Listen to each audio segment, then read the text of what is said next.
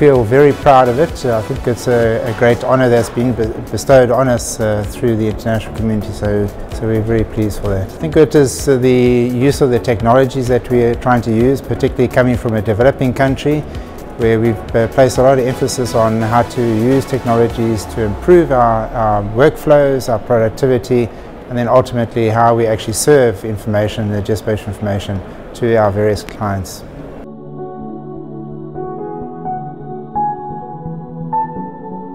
We uh, have uh, a geoportal uh, which uh, we are uh, using to provide uh, web services, both file services or mapping services where we can then better serve the geospatial information. So I think that issue of accessibility to geospatial information is really a key point in getting the user then to be able to use that information. And also uh, we have a, a, quite a strong program of aerial imagery in the country which we uh, uh, take through to uh, the ortho imagery so we have a regular program of then refreshing this, this imagery which is I think a very critical part of in the geospatial information that the country does need. We have a very strong uh, policy on land, so it's, it's, a very high priority in our government. You know, taking the our past, we have a very uh, uh, high priority on, on land reform in the country and trying to provide security of tenure to all the people in South Africa. So that is a very high government priority.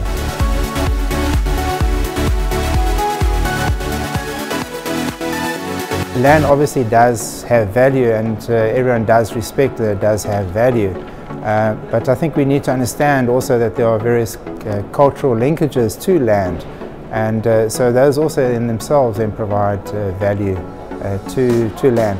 So I don't think we should only be looking at the formal valuation systems but also the, the, the, the looking at from the traditional value that is placed on land.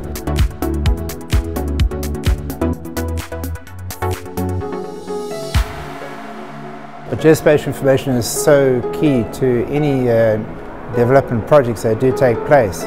And uh, so we, we need to acknowledge that, you know, because development takes place at a place or in a space. And, and that is then gives us location, which is then uh, geospatial information. And uh, so we do need to make sure that we uh, have that geospatial information which is relevant for that particular policy or that particular decision that needs to be made for that development, both in the development planning stage and also in the, the execution and monitoring as well. You need to also monitor what, how, how effective your policies are as well, so you need to consider that.